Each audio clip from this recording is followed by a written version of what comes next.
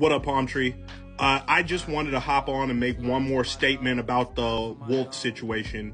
Uh, as my heart and thoughts, prayers are still with the victim, I just wanted to acknowledge the fact that like Bones and Wulf unfollowed each other.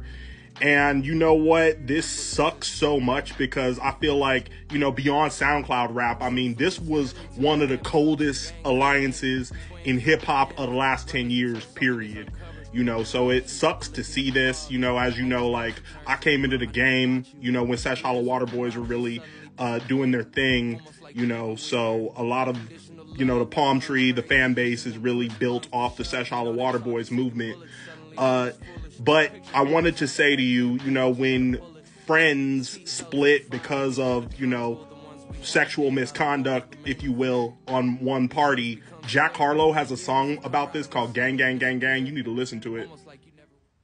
And you know what? Wulf could have chopped it with Bones and Elliot behind the scenes, and we don't even know. And for PR reasons, Team Sesh might have had to unfollow Wulf.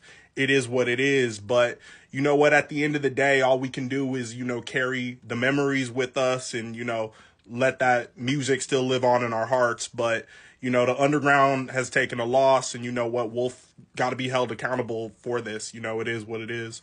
What do you guys think of the Xavier Wulf cancellation situation? Let me know in the comments. Peace, love, palm.